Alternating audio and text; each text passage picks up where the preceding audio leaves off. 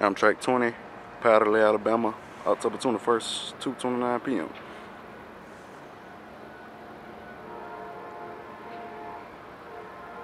Twenty clear, Powderly.